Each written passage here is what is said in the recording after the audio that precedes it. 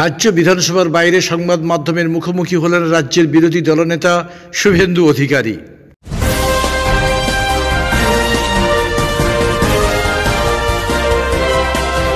এখানে একটি বিশেষ উদ্দেশ্য নিয়ে আমি কুস্তির আন্দোলনের কর্মকর্তাদের সঙ্গে মিলিত হব এবং একটি চিঠিও আমার সম্মতি সূচক দেব ওখানে।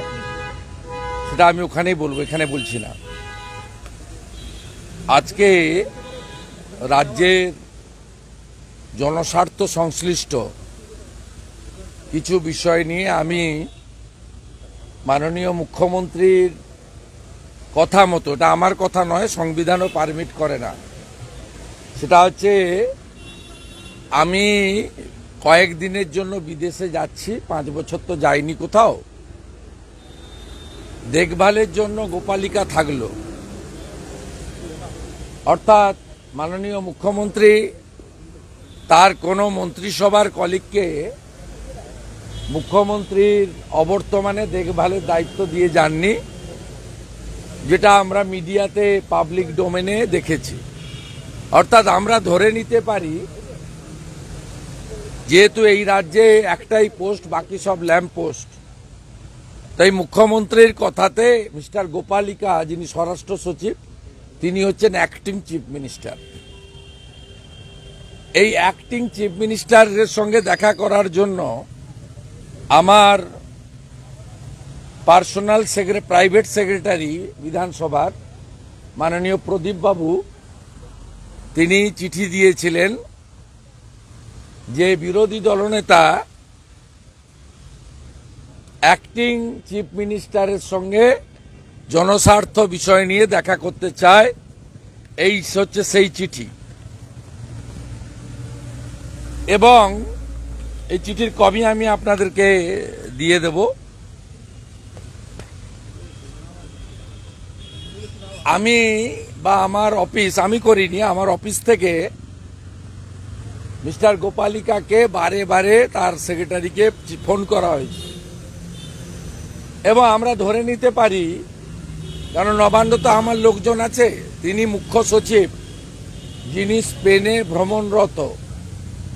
সম্ভবত দুবাইতে আজকে চলে আসবেন। তা তার কাছে পাঠিয়েছেন। তিনি রাজ্যের একমাত্র পোস্ট মুখ্যমন্ত্রী। তাকে দিয়েছেন, এগুলো সবই বাস্তব কিন্তু ধরে নিতে হবে। তা ওখান থেকে গোপালিকা বাবুকে নির্দেশ দেওয়া হয়েছে। তুমি তাড়াতাড়ি নবান্ন ছেড়ে পালাও। আমার সম্ভাব্য টাইম ছিল চারটে থেকে পাঁচটা। চেয়েছিলাম ফিউ মিনিটস তিনটে পঞ্চান্ন থেকে চারটের মধ্যে আপনার মিডিয়ার বন্ধুরা যারা নবান্নতে আছেন, তাদের কাছ থেকে আপনারা জেনে নেবেন, উনি চারটে নাগা চারটের মধ্যে বা চারটের এক মিনিট আগে পিছে উনি পালিয়েছেন। পালিয়ে যাওয়ার পরে উনার প্রাইভেট সেক্রেটারি বা পিএ তিনি আমার প্রাইভেট সেক্রেটারিকে জানিয়েছেন যে আজকে হচ্ছে না। মুখ্যমন্ত্রী বলেছেন, কোনো এ বিষয়ে আপনি প্রেসকে বলবেন না। চিঠিও দেওয়ার দরকার নেই। সাইলেন্ট থাকুন। সাইলেন্ট থাকুন। সাইলেন্ট থাকুন, আপনাকে প্রেসকেও বলার দরকার নেই। তা সেই অনুযায়ী তিনি কাজ করেছেন। আমি রাজ্যের বিরোধী দলনেতা হিসেবে মাননীয় মুখ্যমন্ত্রীর ঘোষিত সেটা আইনি হোক আর বেআইনি হোক, অ্যাক্টিং চিফ মিনিস্টারকে দুটো জ্বলন্ত ইস্যু নিয়ে জানতে চেয়েছিলাম এবং গত সাত দিন গোটা রাজ্য জুড়ে আমি কিলোমিটারের পর কিলোমিটার ঘুরেছি, তার অভিজ্ঞতা বলতে চেয়েছিলাম। একটি বিষয় হচ্ছে ভয়াবহ ডেঙ্গুর অবস্থা। সমস্ত সাব ডিভিশন জেলা হসপিটাল, কলকাতার প্রাইভেট হসপিটাল কার্যত উপচে গেছে। এমনকি ব্লক স্তরে টেস্ট কিট নেই এবং একশো তিন চার জ্বর এই পুজোর ঠিক আগে, বিশেষ করে বাচ্চারা ভীষণ কষ্টের মধ্যে আছে। প্রায় সকলের বাড়ির বাচ্চারা, তারা অত্যন্ত কষ্টের মধ্যে কাটাচ্ছেন আর সাধারণ মানুষ, তারা স্বাস্থ্য পরিষেবা থেকে বঞ্চিত হচ্ছেন। সরকার মাদ্রিদ বা বার্সেলোনায় ফুটবল খেলছে। আমি ডেঙ্গু নিয়ে আমার উদ্বেগের কথা এই রাজ্যের জনগণের উদ্বেগের কথা বলতে চেয়েছিলাম। এর সঙ্গে নবান্ন ভেঙে দাও, গুড়িয়ে দাও। মুখ্যমন্ত্রীর চেয়ার দখল করে নাও। গোপালিকাকে ঘাড় ধাক্কা মেরে তাড়িয়ে দাও। এসব কোনো কর্মসূচি ছিল না। জনস্বার্থের বিষয় ছিল।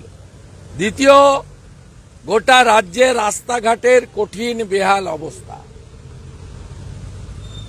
রাজ্য সড়ক তার অবস্থা কঠিন জায়গায় এবং বিশেষ করে আমাদের পৌরসভা এলাকাতে এবং গ্রামীণ এলাকাতে আশি শতাংশ রাস্তার কোনো অস্তিত্ব নেই। আমি বিশ্বকর্মা পুজো, গণপতি উৎসব এবং গতকাল বীরভূমে গেছিলাম। আমি কলকাতার উপকণ্ঠে পানিহাটি, সোদপুর, বিরাটির রাস্তার অবস্থা দেখে এসেছি। আমি রাস্তার অবস্থা হলদিয়া শিল্পাঞ্চলের দেখে এসেছি। আমি কালকে বীরভূমে গেছিলাম বর্ধমানের গুসকরা থেকে সিউড়ি পর্যন্ত। রাস্তার ভয়াবহ চিত্র আমি দেখে এসেছি। আমি গোপালিকাজিকে বলতাম যে রাস্তা সারান। পুজোর আগে রাস্তাগুলো দয়া করে সারান। একদিকে বৃষ্টি, অন্যদিকে খানা খন্দ সব রাস্তাই মরণ ফাঁদ। তাই জনস্বার্থে সংশ্লিষ্ট এই দুটো বিষয় পাঁচ থেকে সাত মিনিটের মধ্যে আমার বলা হয়ে যেত। উনি আমার কথা দাঁড়িয়ে শুনতে পারতেন, আমাকে দাঁড় করিয়ে বসিয়ে শুনতে পারতেন, চা খাইয়ে শুনতে পারতেন চা না খাইয়েও শুনতে পারতেন। প্রয়োজনে নিচে উপরে উঠে গেলে যদি মুখ্যমন্ত্রীর চেম্বারে ঢুকে যায়, এমন কোনো আশঙ্কা ওনার থেকে থাকতো। তাহলে তিনি লিফটের সামনে দাঁড়িয়েও এই দুটো বিষয় শুনে নিয়ে আমাকে বলতে পারতেন, মাননীয় বিরোধী দলনেতা, আপনিও দু কোটি আঠাশ লক্ষ লোকের প্রতিনিধি, আপনি যে দুটো বিষয় বলেছেন, আমার সরকার এই বিষয়ে যথাযথ ব্যবস্থা নেবে। বা বিষয়টা বিবেচনা করব, বা বিষয়টা স্পেনে বার্সিলোনা বা দুবাইতে জানাব।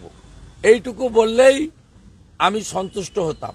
কিন্তু এই রাজ্যের ব্যুরোক্র্যাট প্রশাসন কোন লেভেলে গেছে, একদিকে মুখ্যমন্ত্রী বলেন, বিরোধীরা সহযোগিতা করেন না, অন্যদিকে বিরোধীদের ভালো ভালো প্রস্তাব বা জনস্বার্থ সংশ্লিষ্ট প্রস্তাব বলার জন্য, শোনার জন্য ব্যুরোক্র্যাটরা মুখ্যমন্ত্রীর নির্দেশে রাজি নয়।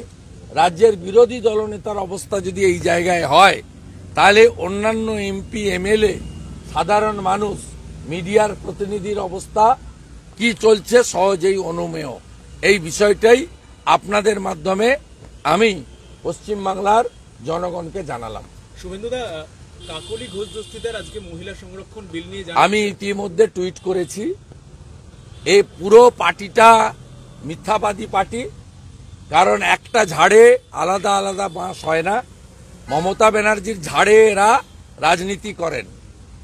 তাই এত বড় একটা মিথ্যা কথা কাকলি ঘোষ দস্তিদার বলেছেন। আমি আশা করব বারাসতের ভোটাররা এটা দেখেছেন। ইসরোর মহিলা সায়েন্টিস্টরা বেতন পায় না। তার উত্তর মাননীয় মন্ত্রী কিরণ রিজ্জুজি যেভাবে সপাটে ভদ্রভাবে এই মিথ্যাবাদী তৃণমূল এবং তার সাংসদকে দিয়েছেন হ্যাটসঅপ টু কিরণ রিজ্জুজি আমি ইতিমধ্যে টুইট করে এটাকে সামনে এনেছি। কিরণ রিজিজুজিকে ধন্যবাদ জানাই এটা নিয়ে বলছেন যে মহিলা স্বায়ত্তশাসনের জ্বলন্ত উদাহরণ হচ্ছেন মমতা বন্দ্যোপাধ্যায়।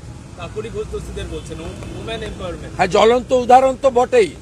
রামপুরহাটের বাগডুইতে সাতজন মুসলমান মহিলাকে পুড়ালোকে মমতা ব্যানার্জি আবারকে তিনজন শিশুকন্যাকে পুড়ালোকে ভাদু আনারুল মমতা ব্যানার্জি আবার কে? হাঁসখালিতে ক্লাস নাইনের ছাত্রীকে ধর্ষণ করে জ্যান্ত পুড়িয়ে মারল কে? মমতা ব্যানার্জি আবার কে? মাটিগাড়াতে নেপালি পরিবারের ক্লাস টুয়েলভের ছাত্রীকে ধর্ষণ করে পুড়িয়ে মারল কে? মমতা ব্যানার্জির সাকরেতরা আবার কে? কালিয়াগঞ্জে রাজবংশী পরিবারের ক্লাস টুয়েলভের ছাত্রীকে পুড়িয়ে মারল কে? মমতা ব্যানার্জির সাকরেতরা আবার কে? এই তো জ্বলন্ত উদাহরণ। অগ্নিদগ্ধের উদাহরণ।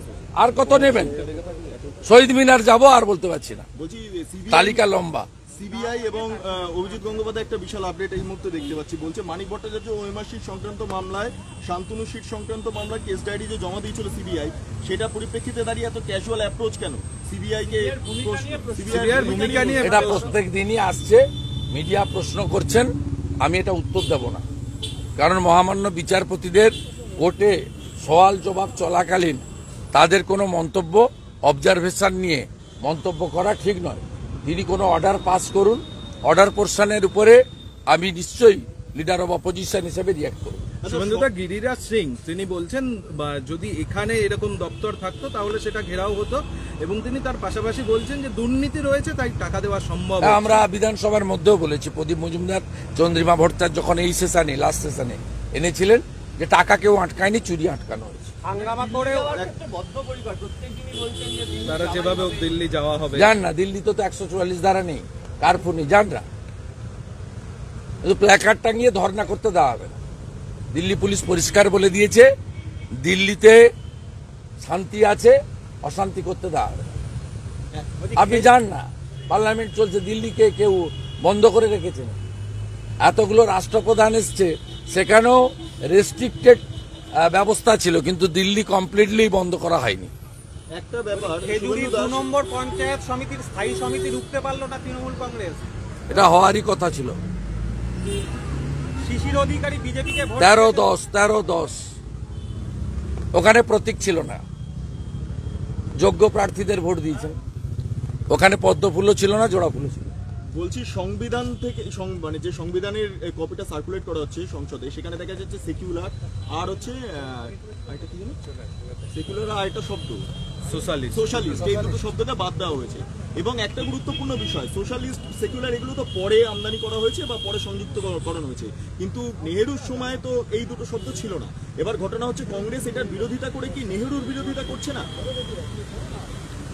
কংগ্রেস কার বিরোধিতা করছে জানি না। কংগ্রেস মুসলমান ভোট পাওয়ার জন্য এটা করছে। মুসলিম ভোট পাওয়ার জন্য এটা করছে। কংগ্রেস মুসলিমদের অর্থনৈতিক উন্নয়ন দিতে পারেনি। তাদের প্রকৃত স্বাধীনতা দিতে পারেনি। তাদের মহিলাদের উপর যে অত্যাচার ছিল শাহবানু কেস বলুন, নানাভাবে মুসলিম মহিলারা যেভাবে টর্চার হতেন তিন তালাকের নামে। তাদের সম্পত্তি আইন ভিন্ন আইনের জন্য। কংগ্রেস মুসলিম মহিলাদেরকে প্রোটেকশন দিতে পারেনি। উল্টে কংগ্রেস এই যে আজকে যে বিরোধিতাটা করছে, এটা কেবলমাত্র অ্যাপিজমেন্টের জন্য। I dot N dot D dot I dot A dot dot dot এরা তিনটে কারণে এক হয়েছে। একটা হচ্ছে ফ্যামিলি ফ্যামিলি পলিটিক্স, বংশবাদ। সেকেন্ড হচ্ছে corruption to prevent ED and CBI third হচ্ছে তুষ্টিকরণ তোষণ বা অ্যাপিচমেন্ট এই তৃতীয়টা এক্ষেত্রে অ্যাপ্লিকেবল কংগ্রেস শুধুমাত্র মুসলমান ভোট পাওয়ার জন্য। এই কাজটা করছে। কিন্তু সফর সাফল্য হোক বা অন্যদিকে দাঁড়িয়ে এই নারী সুরক্ষা যে বিল সমস্তটা মিলিয়ে কংগ্রেস চাইছে যে নিজের দিকটাকে তুলে ধরতে এবং নিজেদের জন্যই মূলত কংগ্রেস প্র্যাকটিক্যালি ইরেলিভেন্ট এগারোটা রাজ্যে কংগ্রেস আছে বাকি রাজ্যে কংগ্রেস নেই। সর্বত্র এনডিএ বা বিজেপির সঙ্গে কোথাও রিজিওনাল পার্টি কোথাও কংগ্রেসের লড়াই। তো ন্যাচারালি কংগ্রেস ওই চল্লিশ পঞ্চাশ ছাপ্পান্নর মধ্যে ঘোরাঘুরি করে। কংগ্রেস লাস্ট দুটো পার্লামেন্ট ইলেকশনে অপোজিশন লিডার লিডারের জন্য যে রিকুইজিট নাম্বার লাগে সেটাই পায়নি। আমাকে ছেড়ে দেন প্রাথমিক নিয়োগ নিয়ে বিচারপতি গঙ্গোপাধ্যায় প্রাথমিক শুভেন্দুদা বিশ্ব হিন্দু প্রা- পরিষদ সূর্য জাগরণ প্রাথমিক নিয়োগ নিয়ে বিচারপতি গঙ্গোপাধ্যায় আজকে উষ্মা প্রকাশ করে সিবিআই কে বলেছেন যে মানুষকে বোকা বানানো অর্ডার পোর্শন বলুন। হ্যাঁ এবং বলেছেন এটা অবজারভেশন আমি সওয়াল জবাবের কথা বলব সিবিআই ডাইরেক্টর রিপোর্ট তলব সঙ্গে মানে ভার্চুয়াল হাজিরার নির্দেশ দিয়েছেন সিবিআই এর ডাইরেক্টর সিবিআই। না না আমি আপনাকে বলি ক্রেডিট গোজ টু জুডিশিয়ারি তারা করাপশনকে উপড়ে ফেলতে চাইছেন। সমস্ত মেজারকে আমি এবং বাংলার লোকরা সাপোর্ট করে। দাদা বিশ্ব হিন্দু পরিষদের সূর্য জাগরণ যাত্রা হবে পয়লা অক্টোবর থেকে। তারা অনুমতির জন্য জানিয়েছিলেন ছটি রথযাত্রায় পশ্চিমবঙ্গ থেকে তারা পরিচালনা করবেন। রাজ্যের প্রশাসন তাদেরকে সহায়তা করছেন না। কীভাবে কোর্টে যাবেন? আমার তো ছিয়াত্তর বার কোর্টে যাওয়া হয়ে গেছে। আজকে খেজুরি পঞ্চায়েত সমিতি গঠন হয়েছে পূর্ব মেদিনীপুরের জেলা শাসকের দপ্তরে মহামান্য কলকাতা হাইকোর্টের নির্দেশে। রানীনগরে অবৈধ পঞ্চায়েত সমিতি স্থায়ী সমিতি কালকে কোর্ট অর্ডার দিয়েছে। এ তো পশ্চিমবঙ্গে তো যাকেই মমতা ব্যানার্জির অপছন্দ হবে তাকে কোর্টে যেতে হবে। পরিষ্কার কথা সে পারমিশন পাবে না। আর তৃণমূলের পারমিশন লাগে না। তৃণমূলের কোনো পারমিশন লাগে না। তারা যদি মনে করে দশ মিনিটের মধ্যে হাজরা মোড়ে সভা করবে শ্যামবাজার পাঁচমাথার মোড়ে সভা করবে এমনকি অ্যাসেম্বলির গেটে করবে হাইকোর্টের গেটে করবে তা তো অনু- অনুমতি লাগে না। পুলিশ দাঁড়িয়ে দাঁড়িয়ে দূরে দাঁড়িয়ে দেখবে। অনুমতি লাগে না। অতএব বিশ্ব হিন্দু পরিষদের রাম ভগবান রামচন্দ্রের আপনার প্রথম পর্যায়ে মন্দির উন্মোচনকে সামনে রেখে অক্টোবর থেকে ডিসেম্বর ব্যাপী অনেক কর্মসূচি তাদের আছে। সৌর্যযাত্রা, সন্ত সমাবেশ ইত্যাদি, ধর্ম সমাবেশ, এসব কর্মসূচি তারা করবে। কিন্তু পশ্চিমবঙ্গে যেহেতু তথাকথিত সেকুলারিজমের নামে এখানে অ্যাপিজমেন্ট চলে, তাই এখানে গেরুয়া ধ্বজ থাকলে, জয় শ্রীরাম থাকলে, বন্দে মাতরম থাকলে, মাথায় টিকা থাকলে, হাতে শাঁকা পলা থাকলে, গলায় কণ্ঠি থাকলে, ধুতি পরা থাকলে, মাথায় শিখা থাকলে, টিকা টিকি থাকলে, তাদেরকে অ্যালাউ করা হবে না। এটা তো স্বাভাবিক। এটা আমরা বহুভাবে দেখেছি। এবং মমতা ব্যানার্জি দুর্গাপুজোকে তিনি কালচারাল প্রোগ্রামে পরিণত করতে চান। তিনি আমাদের যে শাস্ত্র পঞ্জিকা মতে ভাঙতে চান। আমি কালকেই দেখছিলাম, সত্যি কি মিথ্যা আমি জানি না। মন্ত্রীদের পরিচালিত পুজো পিতৃপক্ষে উদ্বোধন হতে চলেছে। এই জিনিস কতবার পশ্চিমবঙ্গের লোক সহ্য করবে? আমরা যারা সনাতনী, হিন্দু, বাঙালি, পিতৃপক্ষ হচ্ছে অসুচ অশুভ পক্ষ। এই সময় পিতামাতা মারা গেলে যদি সামর্থ্য থাকে, গয়াতে গিয়ে পিণ্ডদান করেন। এই সময় কোনো শুভ কাজ কেউ করেন না। আর পশ্চিমবঙ্গে সবচেয়ে প্রধান উৎসব দেবী দুর্গা। তাকে পিতৃপক্ষে এরা উদ্বোধন করবে। এই জায়গায় নিয়ে গেছে দুর্গা পুজো সহ আমাদের সনাতনীদের সমস্ত পুজোকে। মমতা ব্যানার্জি কালচারাল প্রোগ্রাম করতে চান। আর আমরা এটাকে রুকবই আমরা পুষ্পাঞ্জলি দেব। আমরা সংকল্প থাকব। আমরা হোম যজ্ঞ করব। আমরা আরতি নাচ করব। আমরা চণ্ডী স্তোত্র পাঠ করব। আমরা গায়ত্রী স্তোত্র পাঠ করব। আমরা দুর্গা মায়ের যে পঞ্জিকা শাস্ত্র মতে টাইম আছে, বোধন থেকে নিরঞ্জন। সবটাই হবে আমাদের হিন্দু সনাতনী শাস্ত্র মতে।